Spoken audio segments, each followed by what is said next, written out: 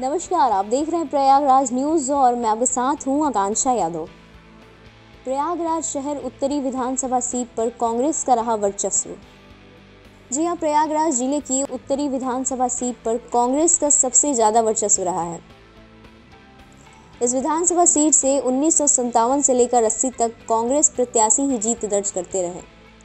वहीं इमरजेंसी के दौरान जनता पार्टी ने सीट पर जीत दर्ज की। यह सीट कांग्रेस के कदावर नेता अनुग्रह नारायण सिंह के कारण भी जानी जाती रही है।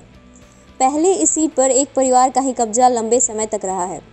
इस सीट से कांग्रेस से राजेंद्र कुमार वाजपेयी लगातार चार बार विधायक चुनी गई। यह सीट ब्राह्मण बाहुल्य सीट है, जिसके चलते यहाँ पर शुरुआत के दौर में ब्राह्मण प्रत्याशियों की जीत हुई है। इतिहास की ओर रुख करें तो राजनीतिक इतिहास इसका प्रयागराज की उत्तर विधानसभा सीट पर उन्नीस सौ सत्तावन में कांग्रेस प्रत्याशी कैलाश नारायण गुप्ता ने पहली जीत दर्ज की। फिर इस सीट पर उन्नीस सौ बासठ से लेकर 1974 तक लगातार चार चुनाव में कांग्रेस ही राजेंद्र कुमारी वाजपेयी विधायक निर्वाचित हुई। 1977 में पूरे देश में इमरजेंसी के दौरान जनता पार्टी की लहर चली तो उस समय इस सीट पर जनता पार्टी के बाबा रामाधार यादव की जीत हुई। 1980 में इस सीट पर अशोक कुमार वाजपेयी ने कांग्रेस से चुनाव लड़कर जीत दर्ज की। उन्नीस सौ पचासी से इस सीट पर अनुग्रह नारायण सिंह का राजनीतिक सफ़र लोकदल से शुरू हुआ और विधायक चुने गए। उन्नीस सौ नवासी में वह जनता दल से दूसरी बार विधायक चुने गए। उन्नीस सौ इक्यानवे राम मंदिर की लहर में भाजपा के नरेंद्र कुमार सिंह गौर विधायक चुने गए।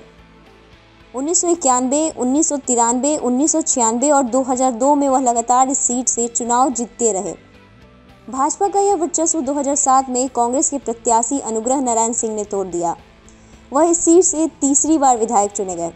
2012 में फिर कांग्रेस से अनुग्रह नारायण सिंह की जीत हुई और 2017 में इस सीट पर फिर कमल खिला। इस बार भाजपा ने हर्षवर्धन वाजपेयी को अपना उम्मीदवार घोषित किया। उन्होंने चार बार विधायक अनुग्रह नारायण सिंह को पैंतीस हज़ार पच्चीस मतों के अंतर से हराकर जीत दर्ज की। यह सीट फूलपुर के अंतर्गत आती है। इस संसदीय क्षेत्र से सांसद केसरी पटेल हैं। जो भारतीय जनता पार्टी से हैं, उन्होंने समाजवादी पार्टी के पंधारी यादव को हराया था। अब 2022 में भाजपा को इस सीट पर अपनी जीत बरकरार रखने की चुनौती है। वहीं कांग्रेस ने अनुग्रह नारायण सिंह को फिर अपना प्रत्याशी घोषित कर दिया है। जबकि बसपा ने संजय गोस्वामी को अपना प्रत्याशी बनाया है।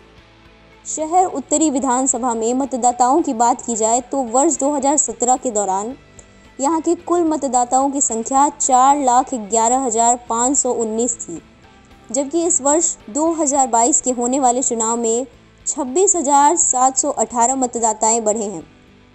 इस प्रकार अब कुल सीट की बात करें तो चार लाख अड़तीस हज़ार दो सौ सैंतीस मतदाता हो गए हैं, जो अपने विधायक का चुनाव करेंगे।